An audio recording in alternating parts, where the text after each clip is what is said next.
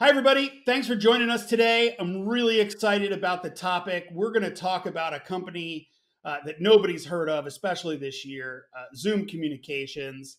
I think it's safe to say that uh, Zoom has become an integral part of our lives. It went from the cool video conferencing tool that everybody in tech was using to communicate with internal employees and customers to something that is part has become part of the fabric of our lives to celebrate birthdays, weddings, go to court.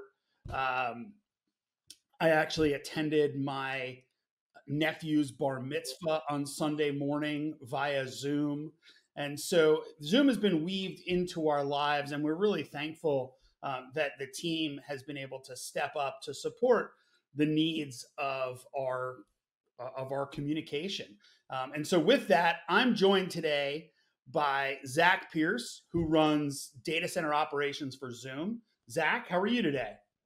Hey, Ben. Uh, you know what? I'm doing great. I'm really happy to be here. Uh, I'm glad that we're able to take the time today to sync up and have a discussion about uh, how Okta has really helped to simplify my authentication processes uh, for my server infrastructure. Uh, to give everybody just a quick agenda of what we're going to focus on today, we're going to start. What you're going to, I'm going to do a very brief introduction to Okta's Advanced Server Access product. Then we're going to kind of dig into Zoom's explosive growth, how they've been rethinking server uh, identity and access management, and in that process, how they really uh, design their automation for scale. And then we'll touch upon the business value impact. And most of this outside of section one is going to be an interactive uh, conversation between Zak and I. So thanks again for joining us today, and let's get into it. So, as we all know, the pace of modern software is very, very different than it used to be. We're moving quickly. I think if we, if anything happened over the course of the last year, is that we needed to figure out how to communicate with our customers, with our business partners, with anybody who we needed to, to do business with faster, right? And so, therefore, the velocity that we build applications, we deploy applications, we secure applications has increased dramatically. With that, security demands change. And some of the analysts have come out and said very clearly that through 2025, 99% of cloud security failures will be the customer's fault. And what does that mean? That just means that there's lots of different things that you need to control from an access management perspective in order to really provide the security outcomes that your business needs and your business demands. So, the real challenge that we have is how can we move fast without breaking things? And more importantly, how can we move fast while continuing to secure things? And so, if we think about the operating model, the operating model in modern computing has changed. And let's take a step back to really understand why that is. When we were deploying new data centers, everything was very well understood. We would spec out the network, we would spec out the equipment that we needed for the network, we would spec out the, the racks of servers that we were going to put in there, we would place the order. These things were when when we were buying them, we knew exactly what their shelf life would be because that's how many years we would think about depreciating them. Everything, once it got shipped, would have an asset tag on it. We'd understand it. It moved slow, right? So now, if I fast forward to today, I can go into my browser right now, and I'm not going to do this, but I could bring up the web console of Amazon, Google, or Azure and I could launch what would be the equivalent of a supercomputer that may have sat in multiple data centers with thousands and thousands of cores and virtual machines almost instantaneously. Um, and this has created a new set of challenges. No longer are things moving slowly, they're moving quickly.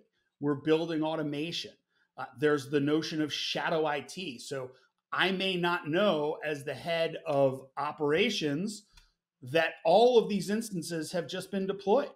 Therefore, if I own the security policy for all those instances, there's a good chance, if I don't even know these things exist, that our security policies and our security controls haven't been dropped onto that infrastructure as well.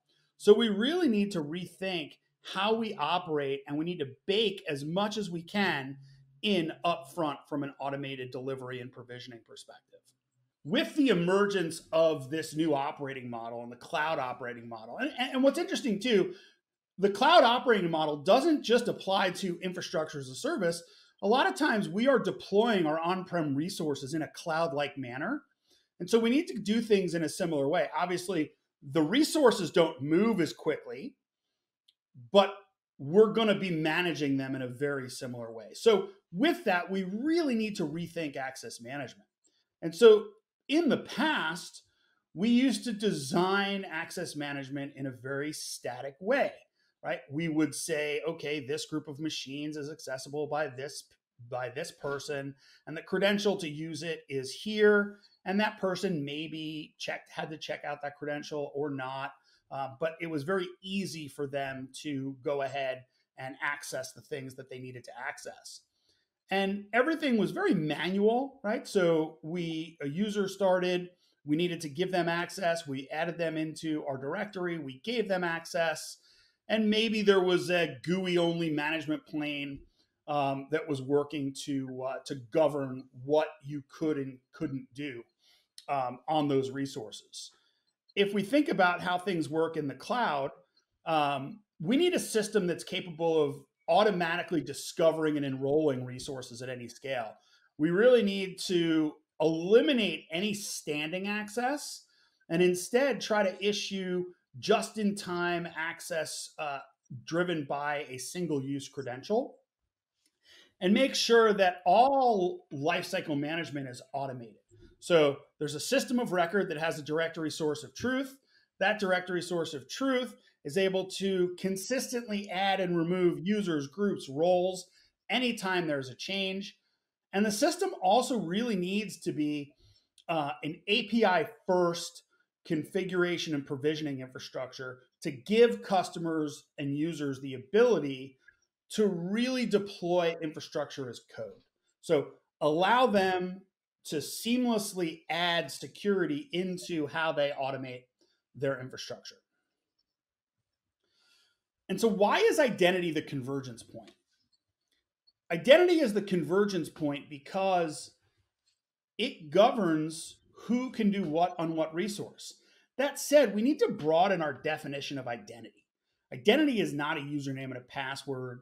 Identity is not a person. Identity is the set of person, device, and action. And each one of those categories has various attributes. And we need to be using those attributes to be able to make decisions. Like this person can only access these resources from a managed device that has a current patch level and they can only do these things when they get to that machine, right? If you don't have a really strong identity system, you're never going to be able to get to the point to be able to deliver that fine grained authorization that you want uh, to those resources, which also, in effect, lowers the risk that you have from a bad actor doing a bad thing because you have much more control.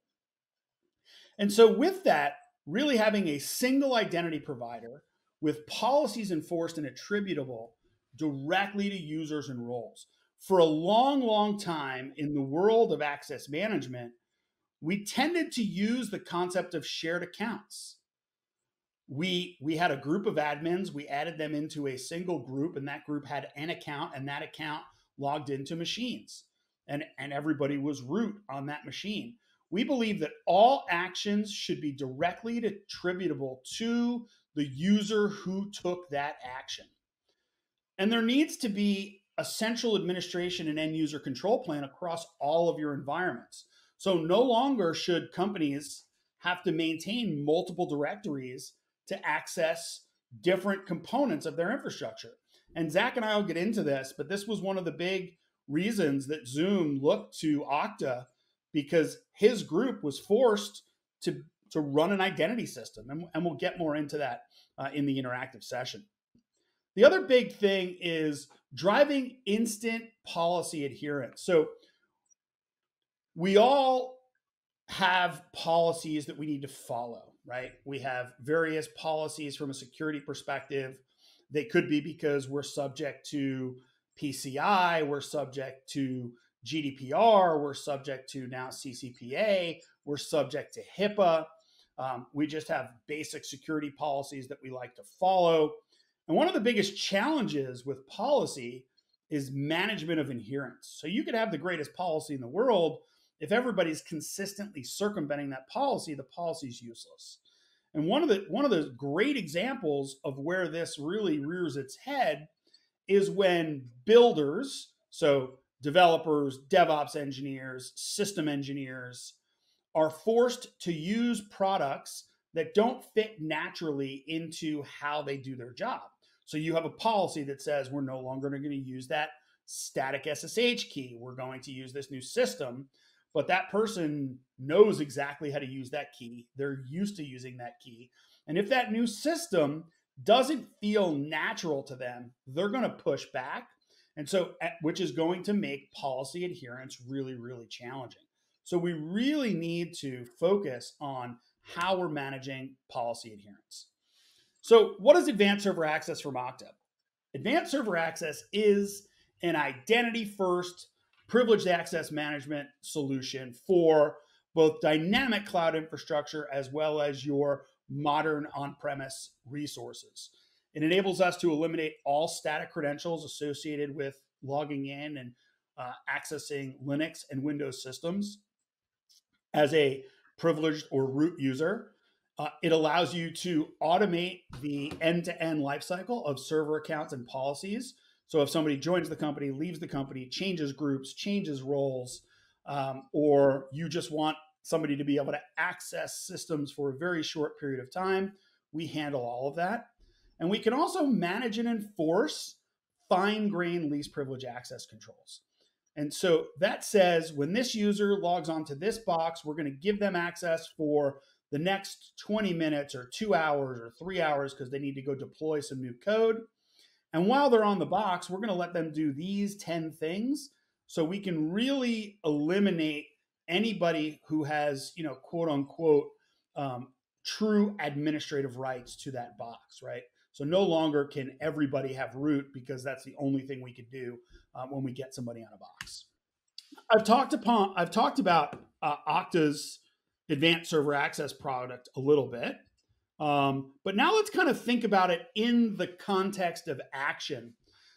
So um, I touched upon this a little bit in our opening. Um, Zoom experienced a little bit of growth last year. Um, don't know why. Um, I haven't really been paying attention to the news much, but um, going from 10 million daily participants to 300 million daily participants um, is a pretty amazing thing. So, Zak, I, I want to welcome you to the conversation. Thanks, thanks again for joining us. Just talk about what is that like going from 10 million to 300 million when you're the head of data center operations? So all so you're talking about 30x increase in load. Um, and most, correct me if I'm wrong, of your uh, infrastructure to this point was running in your own data centers around the world.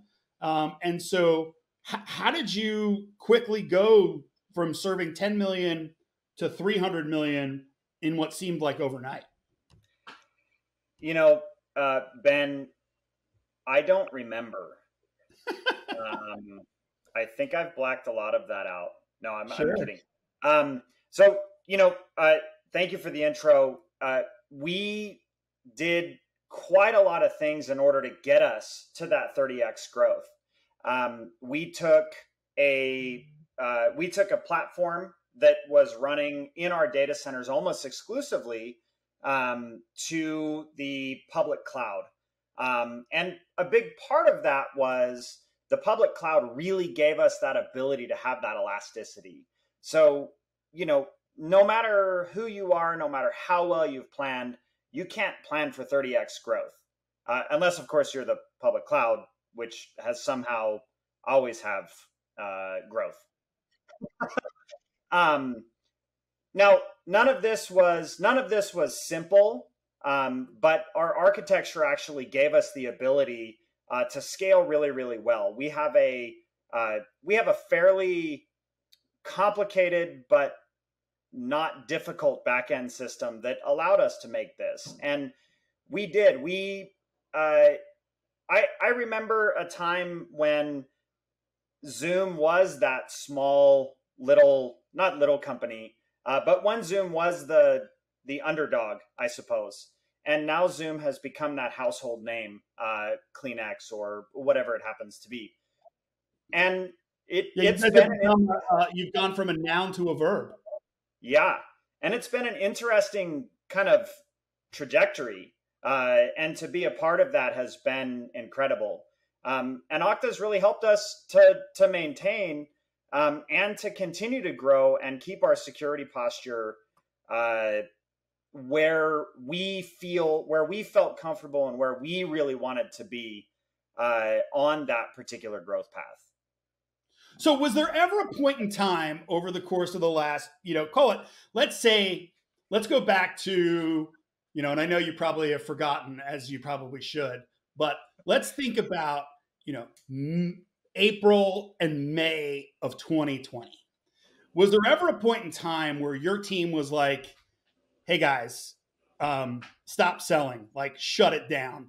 There's no way we're going to be able to able to consistently serve this the quality of service that all of our customers are used to to all of these new kids going to school right that are that are that are free and uh, et cetera et cetera so there were a couple of times, Ben, where we had pulled many, many all nighters in order to stand the capacity up to be able to support tomorrow.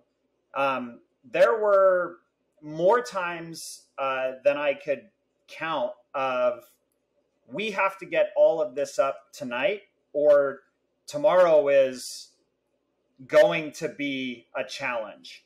And I remember thinking to myself, man, I cannot believe that we are supporting this massive amount of traffic every day on a just a huge growth pattern. And I do remember thinking, you know, it wouldn't be the worst thing if people just maybe went outside and did something. um, we don't all need to sit on Zoom all day long.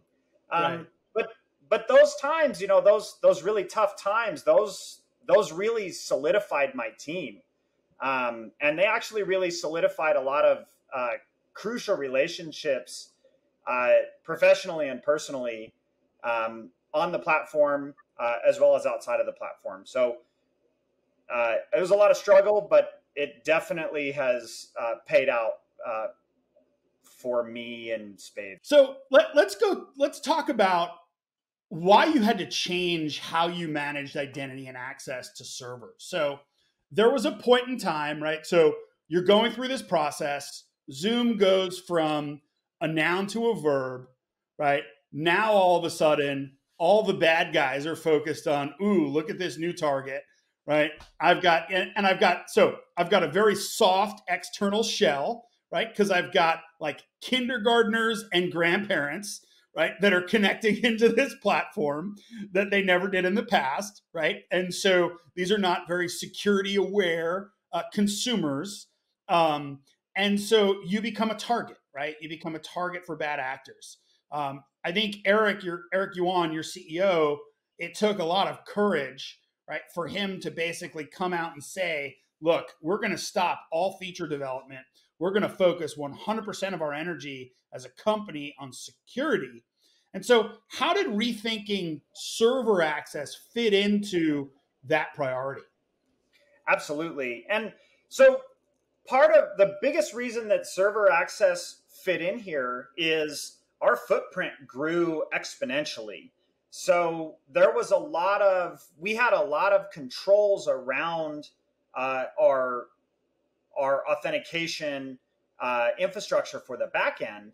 But when we grew at such a quick pace, we outgrew the tools that we were using previously. And so uh, we had moved to a kind of more traditional local account configuration. And as we looked at that and said, this doesn't fit with our ability to scale, this doesn't fit with our ability to add more uh, people into my teams, um, we decided that our traditional methods were not the correct path anymore. Um, so we looked to find an alternate solution. Um, we also really were kind of done being in the identity business.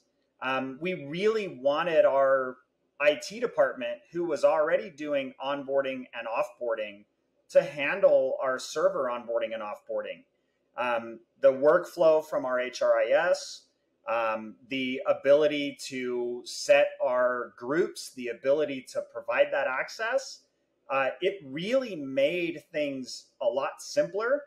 Um, and then the our security team wanted to have a more visibility into the login, the logout, who was who was doing what within the environment, and Okta provided us the ability to actually tick all of those boxes um, without really having to make massive amounts of changes to our infrastructure. And what was it about? So when you say not having to make massive amounts of changes, what what were some of the key enablers for that? My guess is everybody who needed to access these servers, they they already had an Okta account, right? So they had an identity that lived in Okta. So that was one big step. Uh, what what were some of the other things that made it pretty easy to to not have to make a lot of changes? Yeah, absolutely. And you know the the big part for us was having Okta accounts. So everyone on my team, you you Okta was the or is the identity provider for Zoom. So naturally, we're going to be able to come in and meet with and and meet that requirement. Um, but the other part really was, I just want my team to be able to install a client. So this is the SFT client, which is a lightweight client configure it on their laptop, and they are able to SSH to the servers with almost no changes. So, whereas previously they would have had their public private key pair that was issued by an administrator, now they are just using their credentials with Okta that are provided to them on onboarding, and they're able to SSH. A browser pops up, they accept it, and then they're into the servers, and their session lasts all day without being prompted again. And so the workflow change was one browser window and that's it and one time in the morning. So very very limited changes for the administrators in order to be able to do their work. Great. And so, you know, we all know that one of the key challenges in change, especially when, you know, you have builders involved, is most engineers, especially like SREs that are keeping everything up and running, they don't want anything to change because typically when you install new things on servers and things change, that's when pages start going off in the middle of the night, right? So, were there some like cultural changes just inherent in oh, this thing's new, I have to use this now and and how how did we get through those? Yeah, I mean, there's always a little bit of that. So everybody always pushes back and no matter how small the change is, everybody everybody is unhappy with change. Um, I think culturally at Zoom, uh, we really understood that what's most important to us uh, as a company is our security uh, and is our simplicity. So those two things are very important to us. And Okta was a very easy task or a very easy tool to integrate with both of those two items uh, at the forefront. So, again, for my DevOps engineers, even for my system administrators, yes, this is a new tool. Man, you have to type SFT in front of SSH, or you can add it to your SSH config and then you can just SSH directly there and the only workflow change is a is a browser pop up. So I think it took about two days um, in order for the team to really get on board and understand the reason. And because we didn't have to make uh, massive changes to the pipeline, it wasn't now we're using Kerberos and I have to SSH with a host name and I have to do a lot of the things that that Kerberos makes difficult. Okta simplified for us to be able to just connect to a server with our credentials that we already have. Got it.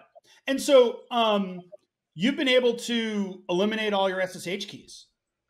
Oh, it's been glorious. The number of the number of things I have to worry about for SSH keys is is zero.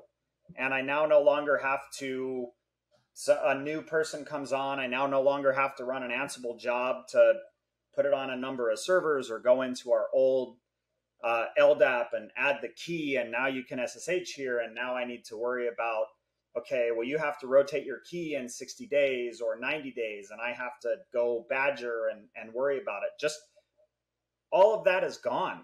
And Okta deals with all of it with very little change. Makes my life much easier. Oh, that's awesome.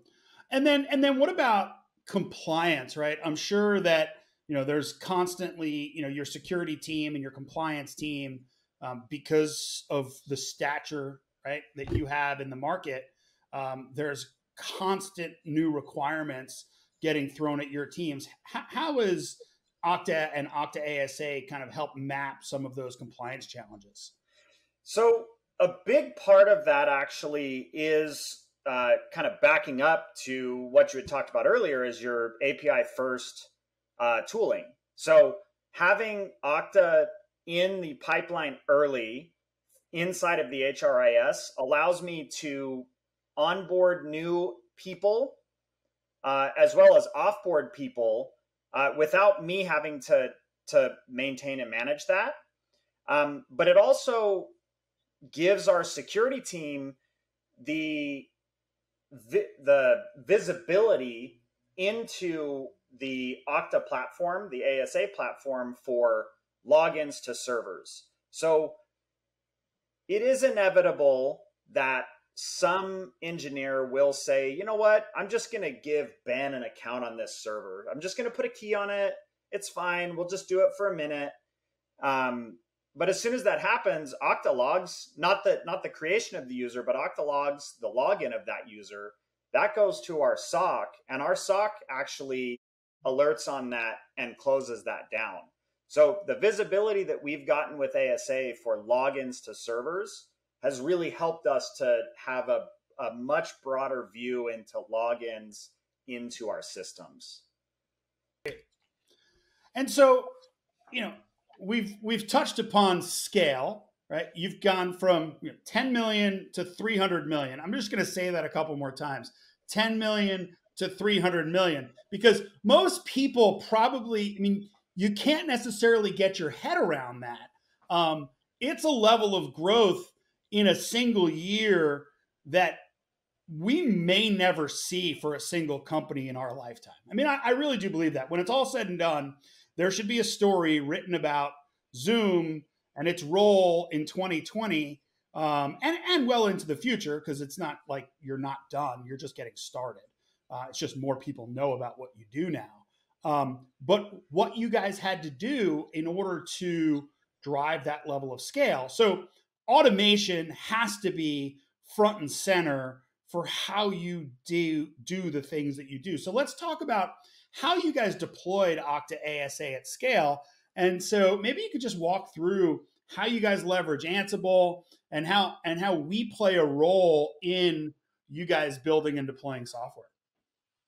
So this is actually a two part. Um, so the first is the configuration of the agent, um, the the the ASA server agent, uh, as well as the teams uh, that we set up on the system. So we have a build pipeline that actually spits out images that have the correct ASA configuration with the correct token. Um, we also utilize Ansible uh, from the system side if we need to deploy items that are outside of kind of that default agent Um, and we utilize Ansible. It's it's super simple. We push an RPM, update a config file, and start a service. Uh, it is very very simple to do that. Um, where I think uh, our environment is um, unique is we use Ansible in order to deploy hundreds of thousands of instances. Um, and this is to keep software up to date on all of those systems. And we rely solely on the ASA tool to log into all of those servers.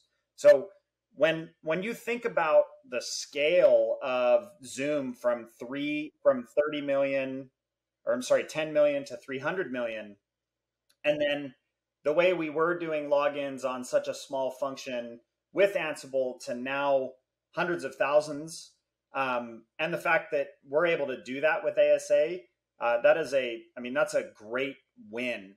Um, but we're also able to integrate ASA into different build pipelines. So not only manual runs, but we're able to do it automatic runs with Jenkins. Uh, we're able to do it with automatic serv- uh, service accounts to deploy configurations, um, scheduling our jobs and deploying them. Again, all of that happening with credentials that are generated from ASA. Uh, they are short-lived credentials, uh, and they are all uh, logged credentials, and they're rotatable if if we need to. Um, so everything that we are doing now with all of our deployments all happen through ASA, and it is a massive scale uh, in order to do that. And Okta does that seamlessly for us. Oh, that's pretty awesome. And so um, let's let's talk a little bit about value for the business. Um, you know, there's there's a bunch of categories here. You know, faster time to value. Let's let's hit on that one a little bit. Um, how long did the overall deployment take? You know, the so let me let me just give you a little bit of uh, background. So our old environment, which was a we'll just call it a, an LDAP style environment. I think we spent about a month or two just kind of figuring out how can I deploy this? How can I not break anything? How can I make sure that I get all of my users in here? Uh, and we're talking about a scale that is much, much smaller. Um, uh, because authentication is such a critical piece to the environment, you, you really can't uh, cause a breaking change. When we deployed ASA, we deployed ASA to an environment that was massively larger than where we deployed our LDAP environment. Um, and we were up on that environment in less than a day. Um, in order for a full deployment, uh, the RPM installed on all the environments, users created, the ability to log in. Um, I mean that that that's such a quick deployment without causing any interruption to our environment, as well as allowing people to log in side by side with the old system and the new system. Yeah, I think that's one of the really cool things that we enable for our customers is it's not uh, an all or nothing scenario, right? We can live side by side with how you're doing things today. And it's actually a really good way be- because once our agents dropped on the box, we're generating audit events for when people log in with other mechanisms. So it's a good way to start to sunset those older credentials. And obviously, in your case, right, you kind of let them bake in over time, right? Uh, because you don't want to just pull the rug out from underneath everybody until you know this new thing works. No, it was kind of cool. I remember um, the initial deployment. I think it happened on a Saturday, right? And there were several of us that were, you know, kind of in in a war room, if you will, virtual war room, right? In a in a chat room somewhere, just kind of looking at the counts, and it was like, okay, 10,000, 20,000, 30,000, 40,000. And it, it obviously got up there. And then you guys have, you know, had to do subsequent large deployments since, right? Um, because obviously we have had schools relying upon Zoom um, as a way to educate our children, et cetera, et cetera. So, um, so that's time to value. That's understandable. Let's talk about risk. How do you feel now versus the past in terms of managing risk and um, you know avoiding credential sprawl and all those things? So it's saved me actually quite a bit of heartache. Uh, so uh, one of the things I I always said is my team was the judge, the jury, and the executioner on all credentials. And so now, when the business, or not the business, but now when the security teams or the compliance teams come to me and say, we need to know what servers people have access to and how they can access them. And I'm e- I am easily able to now say all of our servers are configured through Okta ASA. Here's the list, and here is how we do our groups. Here's how we do all of this, and that's done. And the IT team actually is able to provide that level of detail uh, with their standard uh, with their standard user reports that they have. So it's simplified my life from a compliance standpoint substantially. That's great.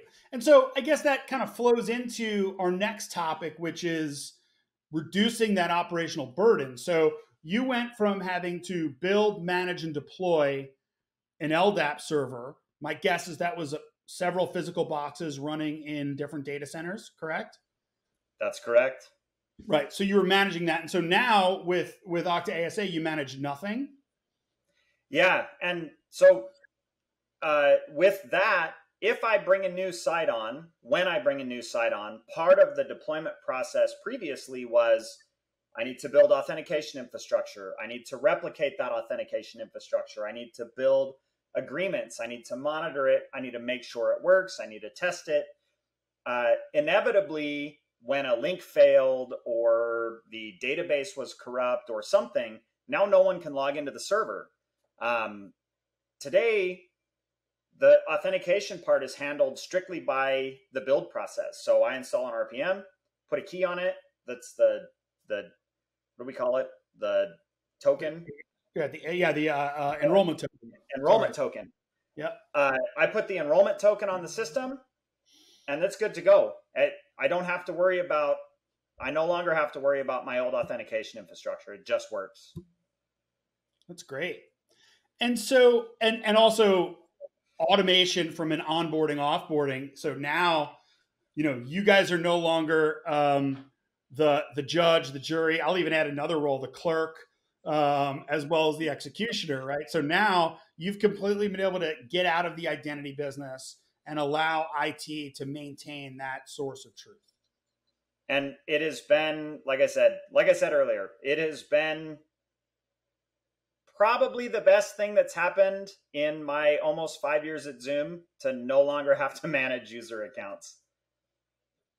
Uh, that's pretty cool. So I think the last topic that I want to touch upon is um, enabling velocity at scale. And so, you know, I'll say it again: we we may never witness the scaling event that Zoom has gone through in the last 12 months, and it really is about 12 months.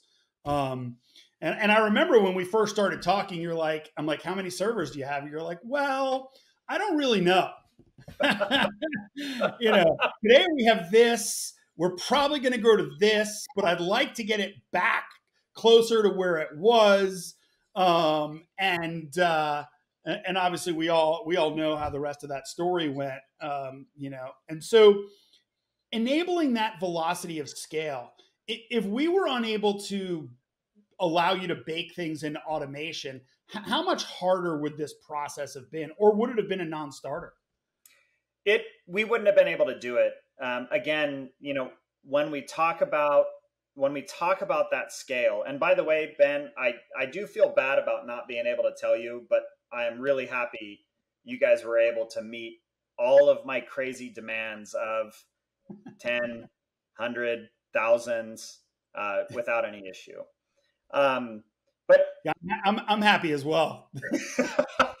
but to your point, uh, if we weren't able to bake all this into automation, uh, we have some pretty custom stuff that causes some issues, and the the ability for us to bake all of that into our Ansible framework just made things very very seamless. And if we had to go in and go a UI and click and do all these other things, it it we wouldn't have done it. It wouldn't have worked because we were at such a crisis mode to make sure everything stayed up, everything worked, that that we wouldn't have done it. And actually, uh, the fact that we were able to put ASA in during that crazy growth mode uh, speaks volumes to the fact that we were able to automate. Yeah, no, that's uh, that's pretty cool. So um, I guess we're we're almost uh, at the end of our time. What I'd really want to express at this point is first and foremost, Zak, I really want to thank you and the team. Um, you've been a great partner. Uh, you know, so most people may not know this, but Zoom has um, a chat like feature that's a little like Slack. And so my team has been in a channel with Zak's team for the better part of a year. We communicate there on a, on a regular basis. Um, but besides that, you know, there's been a, a ton of learning that's happened bi-directionally, right? And and that to me is that that's the best part about um, you know selling software and being in the software business is when you can establish those relationships where we both help each other get better and we solve problems. And part of that was look, you can imagine um, there aren't a lot of customers out there that are running at your scale for a single app, right? You may have like a bunch of servers in aggregate, but at the end of the day, Zoom is one thing, right? A bunch of services, but it's a single platform, right? And um, you know, we had some growing pains on our end, which you know we've we've talked about. We've gotten you know we've rolled up our sleeves together. We've made some changes in the product in terms of how we do certain things to enable Zoom like scale, and that's the way we refer to it now internally, right? You know, engineering comes to me and they're like, okay, you know, what other Zoom like you know scale uh, uh, is is coming down the pipe, um, so they can prepare uh, because and you know it's it's non-trivial when you're running a SaaS platform and you bring on um, very large customers. You need to make sure um, that you can keep the engines running because none of your other, other customers care about the other customer that just came onto the platform, right? Um, and it just needs to be seamless uh, for everyone. So um, I, I, just want to say it's been really, really great partnering with you guys. Um, excited to see where we go in the future. I, I don't I don't think that um, Zoom is going to lose its verb status anytime soon, right? Um, I think that it has become a um, it's just a part of our everyday lives, and that's a good thing. It also speaks to the simplicity, right? I think that's one of the beautiful things. You know, we talked about this briefly. The best security should be simple, right? And that's really one of the guiding principles of Okta. And I think in in your case, the best communication tool should be simple. The fact that we were able to get our kindergartners and our grandparents to be able to seamlessly log on to this platform um, to live our lives speaks to um, the simplicity. And so I just want to say thank you from everybody for all the work that you and your team have done. Um, it's uh, it's made life tolerable uh, over the last over the last year. Well, you know, Ben, I really, I really do appreciate that, and you know, I think uh, all of the blood, sweat, and tears that we've put in and the Okta team has put in have, you know, have really paid off. Um, we are more than happy to produce a platform that anyone can use and be successful on, um, and the collaboration between your team and my team has been uh, perfect. Uh, we have we have pushed you guys, uh, and you guys deliver. Uh, we've you know we ask for features, and if they're reasonable, they're done. So, uh, thank you to you. Uh, we have absolutely loved the partnership. Awesome. Well, thanks, Zak. Have a great day. Thanks, Ben. You too.